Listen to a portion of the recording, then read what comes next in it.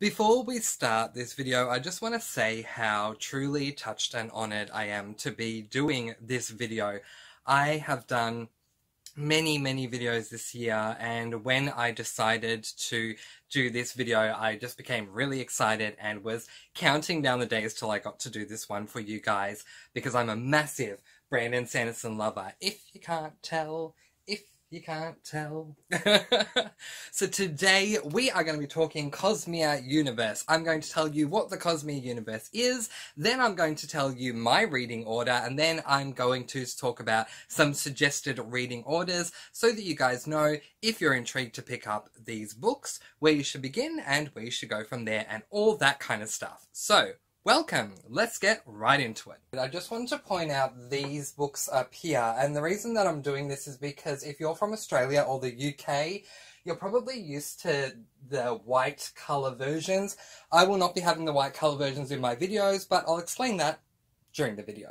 Oh, my Sanderson shelf is so empty. Hello, everybody. Welcome to this video. Today we are discussing the Brandon Sanderson Cosmere Reading order. Let's get right into it. So, in case you weren't aware, Brandon Sanderson, quite a while ago, decided that he was going to write a number of different series that were adult fantasy books. He was also going to be linking all of these series together in a certain way.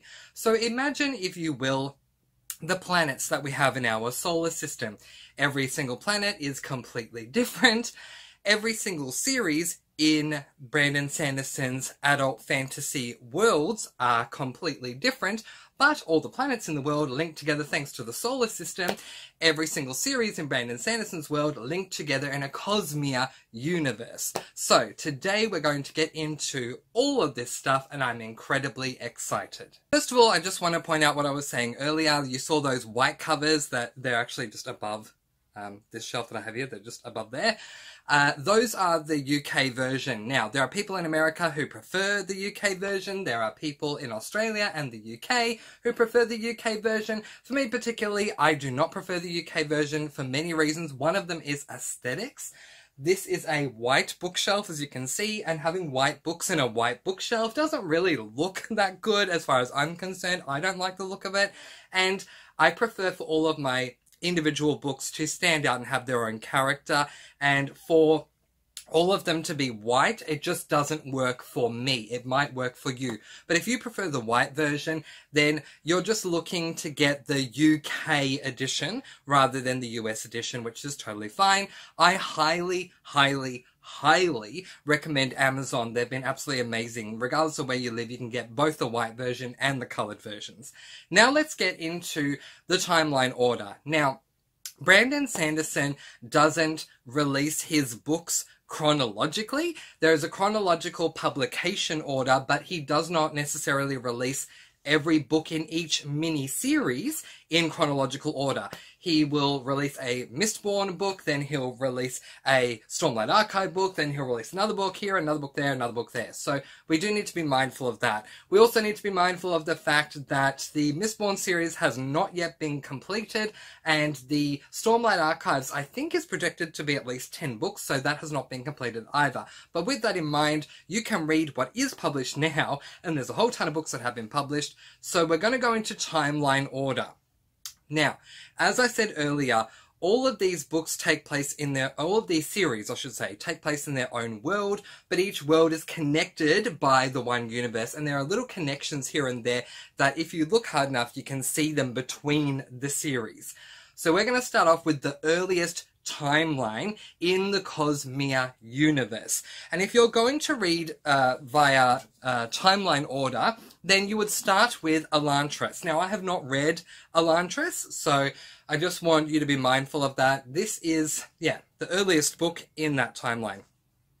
Once you have read Elantris, you would then pick up Arcanum Unbounded, which as well I have not read, and you would read the two books that come after this, which is Elantris the Lost World and The Emperor's Soul, both in this book. So Arcanum Unbounded, for those of you who don't know, is a very special book because it is a compendium of short stories of little secret things that you don't see happening in the main series. So Elantris comes first. Then in Arcanum Unbounded, you would read Elantris, the Lost World. Then you would read The Emperor's Soul. Coming up next in the timeline would be your Mistborn series. So you would start off with the first book, The Final Empire. Then you'd move on to Mistborn Book 2, The Well of Ascension. And then you would move on to Book 3, The Hero of Ages. Then you would go back to Arcanum Unbounded and read Mistborn A Secret History, which is, again, a part of this special book. Then, if you want to continue on the timeline, you'd move on to Mistborn Era 2, The Alloy of Law. You would then move on to book number 5, Shadows of Self, and then you would move on to book number 6, The Bands of Mourning. Once you've completed what has currently been published for Mistborn Era 2, because not only Mistborn, but Mistborn Era 2 has not uh, been complete yet, so we're still waiting for those books to still be published. Once you've read the first six books in Mistborn, then you would move on to the standalone Warbreaker. This is uh, the white version, but uh, Warbreaker revolves around color, so to me, I'm happy to have Warbreaker as a white book. This currently is a standalone. Brandon Sanderson does plan to release a book that is set after Warbreaker, now, there are a lot of booktubers out there that are saying that it's going to become a duology. It's like going to become a series. But Brandon Sanderson's actually not saying this, so please know Warbreaker is a standalone, and then Brandon Sanderson is going to release another standalone that you would read after Warbreaker. But at the moment, if we're looking at what has been published, next up is Warbreaker, your standalone. And then that's when you would go into the way, uh, the Stormlight Archives. So you would start with The Way of Kings, then you would move on to Words of Radiance, then you would move on to Oathbringer. Then I don't have this book, but then you would move on to Rhythm of War, which is the fourth and currently final book that has been published for the Stormlight Archives. This book was published in uh, this month, in November. So you'd be right up to date with Stormlight Archives once you've read The Rhythm of War. Once you've read The Rhythm of War, then you would go on to, and I don't have copies of these either, so I'll put a picture of them up in just a moment.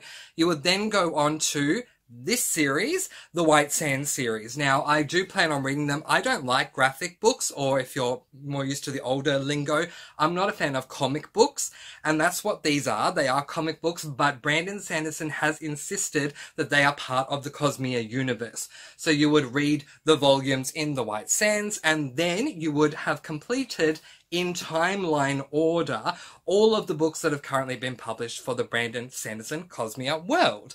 So, now that you have timeline order, let me talk to you about the order that I've read them in, with a couple of pointers of things that I suggest you do do, and a couple of things that I suggest you do not do because I tried them and they didn't work for me. Let's get into that right now. Before we do that, I just wanted to once again go back to talking about the white cover version versus color. So just a moment ago, I showed you The Way of Kings. Now, What's interesting about this copy of The Way of Kings versus the Australian, uh, or UK, I should say, uh, but we have avail available here in Australia, a copy of The Way of Kings is not only that it is a white cover, as opposed to, in my opinion, the more superior, beautiful, colourful version, but also the UK version is split into two parts. So both of these books are The Way of Kings. It's just you have a part one and a part two. The reason for this is because there were publishers out there who thought that 1000 pages is going to be too much for readers. So we have about 500 pages or 600 pages in part one and 500 or so, whatever it is, in part two. Now, again, this is where I highly, highly, highly recommend Amazon. Whether you are in America or whether you are in Australia or the UK or wherever you are, if you go onto Amazon, you should be able to see uh, links to purchasing either of these editions. I got these two in Australia because they were easily available. You can walk into any bookstore and basically purchase part one and part two. But I wanted the one book bind up as well as the colorful version. I wanted the one book bind up. So I went onto Amazon and I had no issue with this. It came about two, three weeks later. It arrived on my doorstep. So that's what I recommend if you want to do that. If you want the one book bind up, colorful version, and you're in Australia, go to Amazon. If you want the white version, also go to Amazon They'll sort you out. Trust me, they've been amazing with me. Now we're going to talk about the order that I read the Cosmere World in. Now, I have not read all of the Cosmere World books, so here I'm going to give you a very quick intro of what I have not read.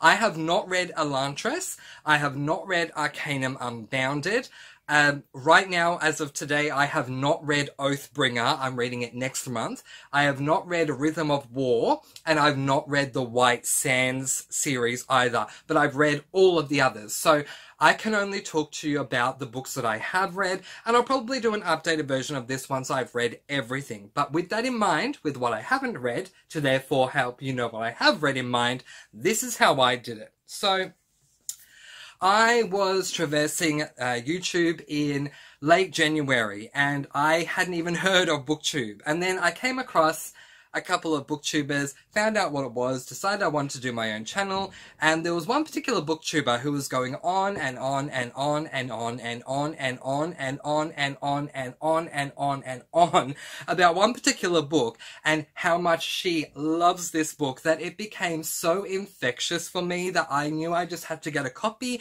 and at the very least try it out for myself. This is what started the Cosmere universe for me. I had not heard of Brandon Sanderson at the time either. So, this booktuber was continually recommending The Final Empire, book one in the Mistborn series. So, I ended up purchasing a mass market, uh, well, I ended up purchasing a I think it's UK mass market paperback version. I'll show you what that looks like. So I was so incredibly excited about Mistborn by the time I got to ordering because of this booktuber's insistence on how good it was and repeating it in so many videos that I ended up purchasing the book box set. Uh, these books are really small, so if I show you the difference between heights, there, as you can see, there's a big difference between them. These ones are really small, and they were really hard for me to read as well. I while these books are a tiny bit floppy, when you go to open them up, you really kind of have to break the spine in order to read them. And I did not appreciate that, but I did start with this. I then went on to the white cover versions because they are easier to read. But ultimately, this is the version that I kept seeing the booktuber talk about, and I prefer the look of this one. This is the American edition. Back to my reading order now that you've heard all that potentially unnecessary information. So I started off reading The Final Empire, the Mistborn Era 1 series first. As I've told you, I have not read Elantris, and I didn't know about Elantris at the time. I started reading The Final Empire thinking I was just going to read Mistborn. I hadn't even heard of the Cosmere universe. I love this book so much. When I finished reading it, I, uh, well, now famously, it said that this book revolutionized reading for me. It was that good, and it became my favorite book of the year all the way up until last month. This was my absolute favorite book of the year. So, obviously, I was intrigued enough to move on to book two in this series. So, the next book that I read was the Well of Ascension. Now, again, not this edition. I ultimately, once I'd read Well of Ascension, went back, uh, went to Amazon and ordered all of these beautiful editions. So I then, yeah, read Well of Ascension, and then I read book three in the Mistborn series, The Hero of Ages. That's where I started my Cosmere journey, not knowing that I was on a Cosmere journey, just wanting to read Mistborn, and then loved this and wanted to keep going. so then, I still didn't know about the Cosmere universe, so I wanted to get to the next book in the series, which was book four. I'd heard people say if you're going to pick up book four, just be mindful that it's different. And in my mind, I thought, okay, that's fine. Things happen at the end of The Hero of Ages that kind of, yeah, made me realize that the next book in the series would be different anyway. So I was prepared for that, but I was not prepared for just how different uh, Era 2 was going to be. And I am going to give you guys that heads up. So I moved on from The Hero of Ages, and I, back then, was a series purist. If I had gotten a certain way through a series and I loved it so much, I wanted to continue on with that series before jumping on to another series, for example, in the Cosmere universe. So for me, I went to the very next book in the Mistborn series, which is book four, The Alloy of Law, before knowing that this was called Mistborn Era 2. I just went on to The Alloy of Law. Now, Here's what I'm going to tell you guys. You can certainly do that. If you want to go straight onto the alloy of law, by all means, do that. But I'm going to give you, in a spoiler-free way, the heads up that I wish that I had. Heads up number one, in between book three, book three, and book four, we have a massive time jump that occurs. So not only is it different in that, um, you know, things are going to be different in the story, but all of the characters that were in this book are not going to appear in this book because we jump quite a bit away into the distance. So we have completely new characters, but also the culture and how just the world building, everything is very different in this world. The next thing I want to tell you is that this book and the Mistborn Era 2 series is published as an adult fantasy, as all of them are, but in my opinion, I would not categorize Mistborn Era 2 as an adult fantasy. This is where I want to give you that heads up. To me, the entire Mistborn Era 2 more reads more like a Western mystery than it does an adult fantasy. While in Mistborn Era 1, the focus is completely on magic, the magic system, and everything revolves around that. Everything that we learn, everything we are trying to do, everything that we go through is thanks to or because of the magic system in this world. So clearly this is a fantasy book. The magic system in Era 2 has evolved because we've moved forward in time, but it's not what is the driving point of the book. The driving point of the book is that it, it comes across certainly as a Western more than uh, this book, which does not come across as a Western at all. And also, it's a mystery. So we have these two on the cover, and that's where this cover looks so much better than the white one. Um, so you can see it kind of looks kind of like your Sherlock and Holmes kind of Sherlock Holmes and whatever it is kind of deal here. And that's what it is. We're following a guy whose name is Waxillium, who is a detective who needs to solve mysteries. He ends up using magic, and so does his sidekick, but magic is not the point. Also, the second thing I have to tell you guys, because I did not know this and it let me down big time, is going into this book, loving Mistborn Era 1, loving the magic system. There are guns used in this uh, Mistborn Era 2. I have no problem with guns being used in a mortal type book, but if you are going to release a fantasy and you're going to use a mortal weapon, I'm not a fan of that because if you have magic at your disposal, why would you need something so mortal like a gun? So I want you guys to be aware of that, that, you know, rather than using your magic to go on the offensive or the defensive against someone in a battle, Waxillium might just pull out a gun and try and shoot someone. So please be aware of that. Keeping that in mind, if you don't want to jump directly into Mistborn Era 2, you can go straight into Warbreaker if you want. Or you could, if you want to, go back to the first book in the timeline, Elantris. But with the warnings that I've given you in mind, if you're okay with that and you go in knowing, okay, it's not like Mistborn Era 1, we're getting a Western mystery where there is magic, but it's not the focus of the book, and you're good with that, then by all means move on to The Alloy of Law. If you then decide to move on to the Alloy of Law, the next book you would move on to would be Shadows of Self, which is book two in this era, or book five overall. And then you would close it off with The Bands of Mourning, book six, or book three in era two. If you decided to go on to either Warbreaker or Elantris after you read the third Mistborn book, then uh, you could then go back and read Mistborn Era 2 after that. If you decided to go straight from Mistborn Era 1 into Mistborn Era 2, once you've completed Mistborn Era 2, then I highly recommend reading Warbreaker. That's what I did because this book is meant to be the bridging book that uh, comes at the end of Mistborn. Now, one thing I did not know is that Mistborn Era 2 book three, or Mistborn book six, is not the final book in the Mistborn series. I thought it was. The way that it wraps up kind of made me feel like it definitely was, but no, it's not. So this book, Warbreaker, is meant to be read once Mistborn concludes in the timeline. It still works though, so because this is the latest published Mistborn book, you could still read this and then go on to this. But if by the time you're watching this video, the next book in this series has come out, I recommend completing all of the Mistborn uh, Era 2 books that you have available to you at the time you're watching this, then going on to Warbreaker, because this book is set after all of the Mistborn series have been completed. As I said to you guys earlier, Brandon Sanderson doesn't publish in sequential order, so he just kind of goes here, there, here, there, here, there.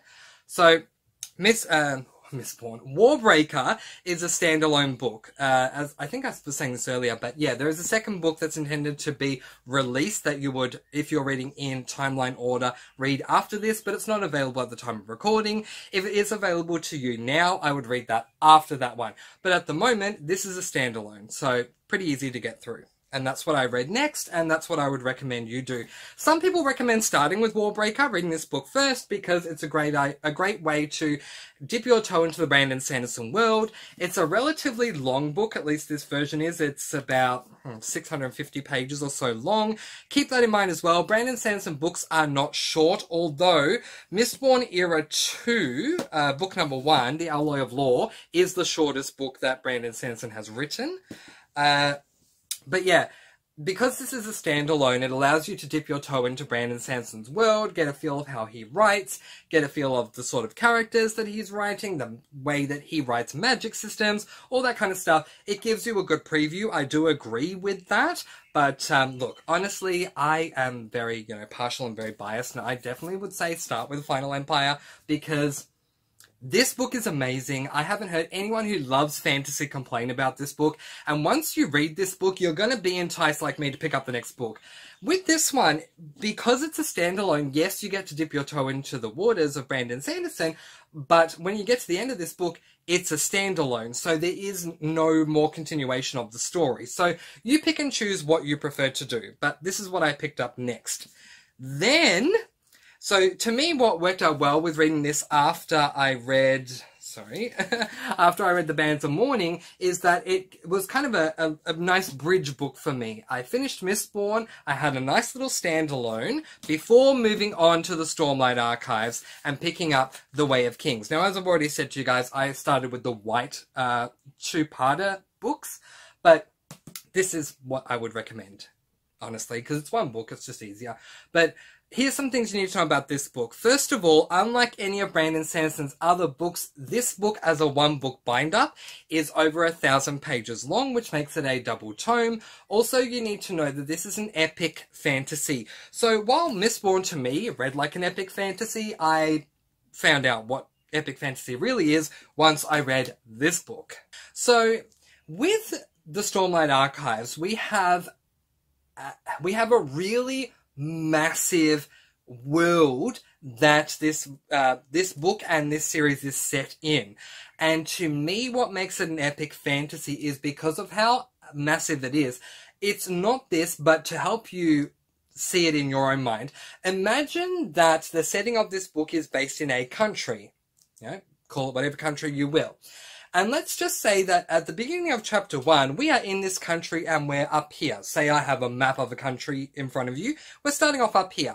Then, you know, about three pages later, we're going to go over and see what's going on over here. Then about three pages later over here. Then we're there, there, there, there, there, there, there, there, there, there, there. This is a very big world. So it is something you need to wrap your head around to begin with. I'm a very analytical reader and I love Brandon Sanderson so much and because by the time I got to this book, I not only had love for Brandon Sanderson, but I loved talking about Brandon Sanderson's books on my channel. I had become very analytical with every book that I picked up in, you know, do I like the magic system? Do I like the way that he's written this? Do I like the characters? What do I think of their arcs? All that kind of stuff. And one of the biggest things that I focused on by the time I came to this book was the magic system because every one of the books that I've read so far in the Cosmere Universe involves magic. The magic system was incredibly tough for me to wrap my head around because with this book, Brandon Sanderson holds your hand. We have our protagonist who has a magical ability who meets a mentor who explains the magic system to our protagonist in a way that we fully understand what's going on. In this book, we have our characters using magic pretty much from day one, like the very first couple of pages, and we have no idea what this magic system is. And that drove me absolutely batty that I finally had to come to the point where I thought, I'm just going to enjoy the book for what it is and not overanalyze it. Once I did that, I found I enjoyed myself a whole lot more. And by the time I felt grounded and centered in this world, that's when I got to really enjoy the book and I ended up giving it five stars.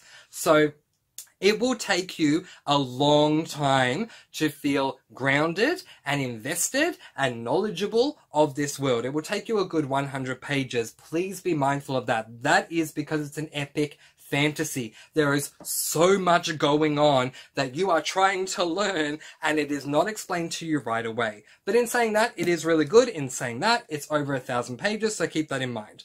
Once I had finished reading The Way of Kings, which I loved it so much, I straight away had to pick up the next book in the series, Words of Radiance, which then became my favorite book of the year because this was my favorite book of the year till October then I read this at the end of last month, and oh my goodness, it became my favorite book of the year. So, yeah. Then after, now that I've finished this book, I'm not reading any more Stormlight Archive till December. And in December, I will pick up Oathbringer. And then in January, my plan, just to finish it off, in January, my plan is to pick up Rhythm of War so that I can complete what has been published so far of the Stormlight Archives. Once I have finished with Rhythm of War, I'm going to go back and read Elantris so that I've read the first book in this Cosmere universe, and then the only book that I will have left is Arcanum Unbounded. Now, the reason why this works for me, and it's a happy coincidence that it works, which I'll explain about in just a moment, but the reason why this works for me is because I will have then read all of the other books uh, except for White Sand, uh, which White Sand is not included in this compendium. I will have read all the other books in the Cosmere Universe, and then I can read this whole book and all of the little secret uh, scenes that we have, no matter which series they come from, I've read them all, so none of them will be spoilers for the actual series for me. Now, the thing that I mentioned earlier that I was going to say about this book is that how it worked out well for me is that while people have been telling me about Arcanum Unbounded, I had not been able to find Arcanum Unbounded anywhere until, I think, was it last week? Yeah, very early last week, I ended up going out to my uh, mall or shopping center complex, whatever you want to call it. And I found this book in the bookstore and I was like, oh my god, the legends are true. And I purchased it. So if I had this book on me from the start, what I would have done, and again, this is where I'm saying I'm showing you what I did and what I recommend you do. What I would have done is I would have read Mistborn, The Final Empire, and then I would have read Mistborn, A Secret History from this book. Because there's a character in this book who we learn more about in this book, so it would have flowed uh, a little better for me. In saying that, though, I'm not really complaining because, yay, the legends are true, so I'm still kind of on a high that I have this, but also because I would have gotten through all of those other books except for White Sand, no matter what I read in this book, none of it will be a spoiler for me anyway, so it just kind of works for me. I think the only thing that's really up in the air when it comes to any of the Cosmere universe is where you go after reading The Hero of Ages. I think everyone is pretty much in agreement, and you can check out a number of other uh, reading orders for the Cosmere Universe on BookTube check out what other people say. But the majority of people do say start with the Final Empire, then go through it, go to Well of Ascension, then go on to the Hero of Ages. And then once you've finished Hero of Ages, that's where we all kind of differ and say, you know, this is what you should do. And that is all because of how very different the alloy of law actually is. So it's up to you, knowing what you now know from the pointers I've given you, if you want to go from Hero of Ages to Alloy of Law, or if you want to go from Hero of Ages to either Warbreaker, or if you want to go on to Elantris before going on to this one, or if you want to dive right in knowing what I've now told you.